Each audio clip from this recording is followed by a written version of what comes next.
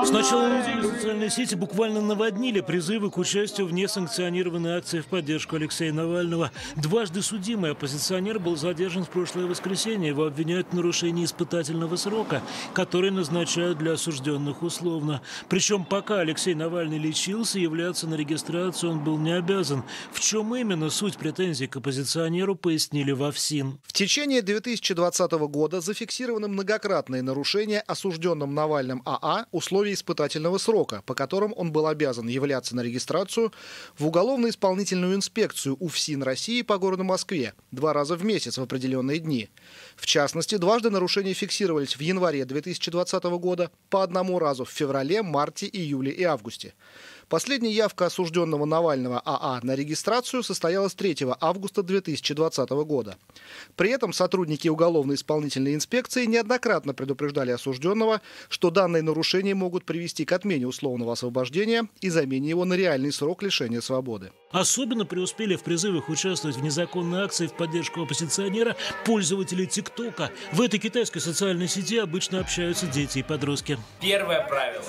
Оставь паспорт дома. Правило номер два. Масочный режим никто не отменял. Обязательно. Возьмите с собой молоко. Молоко советуют взять, чтобы промывать глаза в случае применения слезоточивого газа. Также даются советы, как избежать задержания. На эти призывы уже обратила внимание прокуратура. Генеральная прокуратура считает необходимым предостеречь физических и юридических лиц о том, что призывы к участию в незаконных массовых акциях образуют состав административного правонарушения и могут повлечь наказание вплоть до административного ареста. В случае, если в ходе публичных мероприятий будут зафиксированы провокации и попытки насильственных действий, действия указанных лиц могут быть квалифицированы по статье 212 Уголовного кодекса Российской Федерации.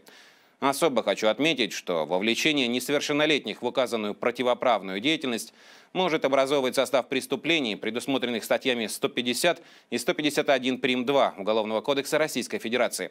А еще в ТикТоке стали популярны видео, где пользователи в одежде, напоминающей полицейскую форму, срывают с себя погоны и нашивки. Видео оказалось фейком. Данные видеоролики являются постановочными и носят фейковый характер. Их участники не имеют отношения к органам внутренних дел. Руководители региональных штабов Навального получили от своих соратников, находящихся как внутри, так и за пределами России, в частности Ивана Жданова и Леонида Волкова, указание максимально задействовать молодых, в том числе несовершеннолетних граждан, на несанкционированных акциях профильным подразделением Министерства внутренних дел России инициировано проведение доследственной проверки. А что же касается авторов роликов в ТикТоке, сорвавших погоны, некоторым из них уже пришлось извиниться. Я не хотел вас оскорбить или как-то унизить. И я искренне хочу перед вами извиниться. Э, в дальнейшем таких поступков я совершать не буду. Простите меня, пожалуйста. МВД и прокуратура предупредили об ответственности за участие в несанкционированных акциях, а уголовное дело о призывах уже возбудили в Следственном комитете. Сторонники Навального размещают публикации в сети интернет, в социальных сетях, в которых призывают несовершеннолетних к участию в несанкционированных митингах на территории Москвы и других городов России 23 января этого года. Возбуждено уголовное дело по статье, предусматривающей ответственность за вовлечение через социальные сети и интернет несовершеннолетних в совершение противоправных действий, заведомо представляющих опасность для их жизни. Все зависит от призывов. Если просто выйти на улицу, это административная ответственность. Если какие-то определенные действия, которые подпадают под уголовный кодекс, здесь уже, естественно, и статья серьезнее, и наказание серьезнее. И если родители обладают достаточным уважением перед своими детьми, то, конечно, слово отца либо слово матери будет намного весомее, чем слово незнакомых людей, которые призывают людей как агнцев на заклание. Отреагировали столичные власти. Мэр Собянин напомнил о рисках, связанных с пандемией. Уважаемые горожане, Ситуация с коронавирусом в Москве внушает осторожный оптимизм. С пониманием определенных рисков были отменены дистанционное обучение школьников, увеличена до 50% максимальная заполняемость театров и кинозалов. Но, должен сказать, риски остаются крайне серьезными. Мы же видим, как драматически развивается ситуация в европейских странах. Устанавливается комендантский час, вводятся жесткие ограничения. больницы переполнены тяжелобольными людьми. В этих условиях мы, конечно, должны строго соблюдать требования санитарных врачей и минимальные, но, сделаю акцент, необходимые ограничения, которые введены в городе. Это очень важно. Важно для того, чтобы мы могли как можно скорее победить пандемию. Важно для сохранения здоровья и жизни москвичей. На 23 января распространяются призывы к незаконной массовой акции, считая ее проведение недопустимым. И еще более недопустимо и цинично выглядят попытки массового вовлечения в эту акцию несовершеннолетних.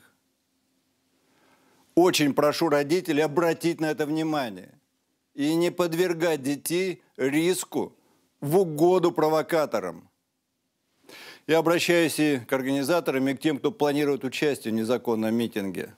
Воздержитесь от участия в нем.